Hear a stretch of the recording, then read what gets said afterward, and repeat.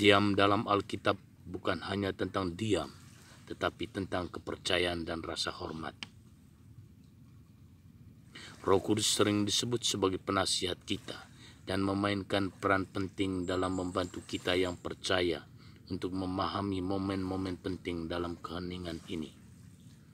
Yohanes pasal 14 ayat 26 Tetapi penolong yakni roh kudus yang akan diutus oleh Bapa dalam namaku dia akan mengajarimu segala hal dan mengingatkanmu semua hal yang aku katakan kepadamu Pengajaran ini mencakup lebih dari sekedar pemahaman kapan menggunakan keheningan sebagai alat yang ampuh.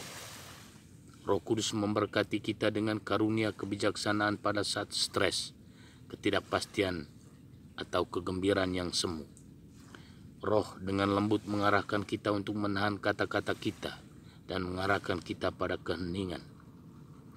Hal ini terutama penting dalam situasi di mana kebijaksanaan manusia terbatas atau ketika emosi kita mengambil alih rasionalitas.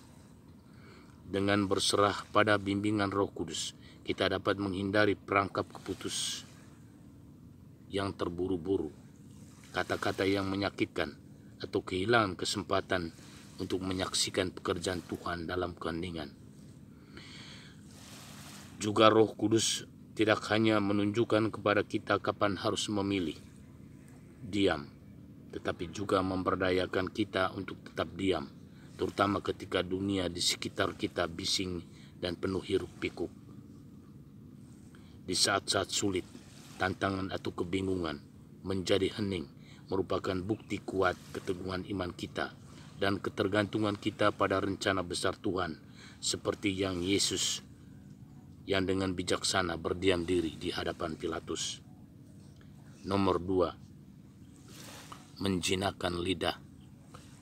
Alkitab sering memperingatkan tentang sifat dualitas dari kata-kata kita dalam Yakobus pasal 3 ayat 5 sampai 6. Alkitab memberitahu kita bahwa kata-kata bisa seperti api kecil yang menumbuhkan dan membakar seluruh hutan. Lidah adalah anggota kecil dari tubuh, namun menyombongkan hal-hal besar. Lihat betapa besarnya kebakaran hutan karena api kecil dan lidah adalah api kecil dunia kejahatan. Lidah begitu melekat di antara anggota-anggota kita sehingga menajiskan keseluruhan tubuh dan ia dibakar oleh neraka. Artinya, jika kita tidak berhati-hati dengan perkataan kita, maka akan menimbulkan banyak masalah. Di sisi lain, perkataan juga dapat digunakan untuk kebaikan. Yesus menunjukkan hal ini dengan menggunakan kata-kata untuk membantu, membimbing, dan menyembuhkan orang.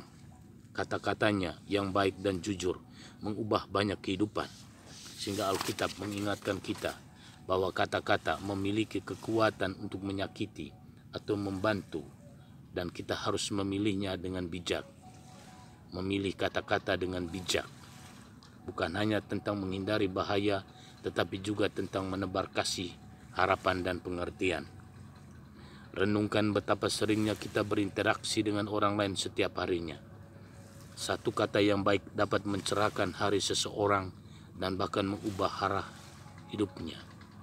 Amsal pasal 16 ayat 24 mengatakan, Kata-kata yang menyenangkan itu seperti sarang madu, manis bagi hati dan menyehatkan tulang. Seperti madu membawa manisnya, kata-kata kita dapat membawa sukacita dan kesembuhan bagi orang lain. Setiap percakapan menawarkan kesempatan untuk membangkitkan semangat dan mencerminkan kasih Tuhan. Dengan bersandar pada hikmat dan bimbingan yang ditawarkan Alkitab tentang perkataan, kita dapat menjadi mercusuar terang di dunia dengan membuat hal-hal positif.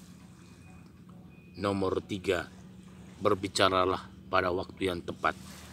Membedakan saat-saat kehidupan sering kali memberikan kita situasi di mana kita terjebak antara mengutara, mengutarakan pikiran dan menahan lidah. Alkitab dalam hikmatnya yang mendalam membimbing kita dalam aspek ini. Pengkhotbah pasal 3 ayat 7 mengatakan ada saat untuk berpisah dan ada waktu untuk menabur bersama. Ada waktu untuk diam dan ada waktu untuk berbicara. Ayat ini mengingatkan kita bahwa ada waktu yang tepat untuk segala sesuatu, bahkan perkataan kita. Raja Salomo yang menulis kata-kata ini memahami bahwa kehidupan ada musimnya. Begitu pula ada saat-saat penting untuk menyuarakan pikiran kita dan membela apa yang benar. Ada kalanya diam adalah respon terbaik. Dengan mengamati momen-momen ini, kita dapat menavigasi situasi dengan lebih baik dengan kebijaksanaan dan rahmat. Dengan mengambil petunjuk dari Alkitab, kita belajar pentingnya membedakan momen yang tepat. Yesus sendiri memilih saat-saat hening, terutama ketika berhadapan dengan para penuduh, tetapi dia juga tahu kapan harus mengatakan kebenaran yang akan mencerahkan dan membimbing. Hal yang sama Rasul Paulus dalam perjalanannya tahu kapan harus berkhotbah dengan sungguh-sungguh dan kapan harus diam. Diam mengamati misinya untuk menarik orang-orang kepada Kristus. Dengan mencari bimbingan Tuhan dan bersandar pada kebijaksanaannya, kita dapat membedakan dengan lebih baik kapan kata-kata kita dapat menyembuhkan, membimbing, dan mengangkat semangat dan kapan keheningan dapat menawarkan pemahaman dan kedamaian yang lebih dalam yang terkadang tidak bisa dinomorduakan dengan kata-kata. Nomor empat, mendengarkan. Mendengarkan yang sebenarnya lebih dari sekedar mendengar kata-kata.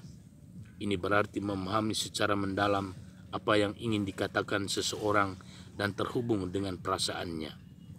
Ketika kita menunjukkan kepada seseorang bahwa kita sebenarnya sungguh mendengarkan, itu bisa membantu kita lebih dekat dengan mereka dan membangun kepercayaan. Dalam Alkitab ada nasihat agar kita selalu mendengarkan dengan baik sebelum kita menanggapi. Secara spesifik, Amsal pasal 18 ayat 13 mengatakan, siapa yang menjawab suatu perkara sebelum dia mendengarnya, maka bodoh dan memalukan baginya. Hal ini artinya tidak hanya bodoh untuk berbicara sebelum kita mendengarkan, tetapi kita mungkin melakukan kesalahan jika kita tidak mendengarkan dengan seksama terlebih dahulu. Kisah anak muda Samuel di dalam Alkitab adalah contoh yang bagus tentang mendengarkan dengan hati-hati.